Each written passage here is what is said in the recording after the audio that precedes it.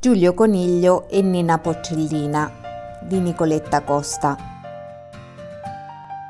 Nel bosco di Nino Coniglio arriva un furgoncino azzurro. Sopra c'è scritto Nina Porcellina Gelati.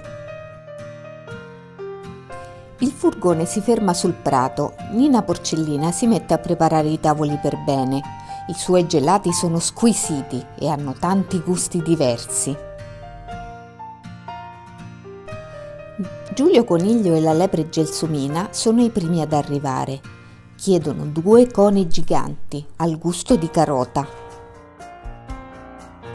Poi arrivano Vasco Scoiattolo e l'istrice Ignazio. Vasco ordina un cono al gusto di castagna, mentre Ignazio va matto per la crema. La lumaca Laura invece prende una coppetta di pistacchio con la ciliegina sopra.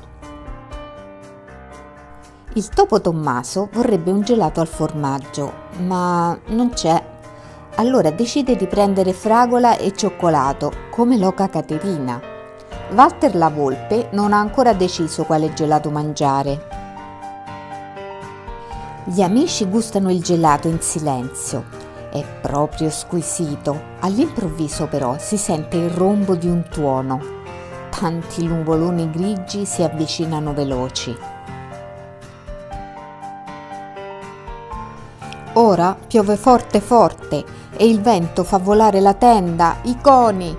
Che disastro! Tutti corrono al riparo. Nina Porcellina si è bagnata tutta, poverina. Per fortuna arriva Giulio Coniglio che la ripara con l'ombrello. Vieni da me ad asciugarti, le dice, altrimenti ti prenderai un raffreddore.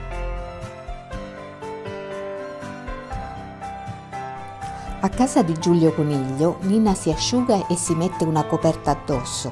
Poi beve una tazza di tè caldo alla carota. Ora si sente meglio. Gli amici si siedono sul divano e aspettano che smetta di piovere. Non preoccuparti, Nina, dice Caterina, ti aiuteremo noi a rimettere a posto. Nina sorride, anche Giulio sorride, è felice di avere una nuova amica.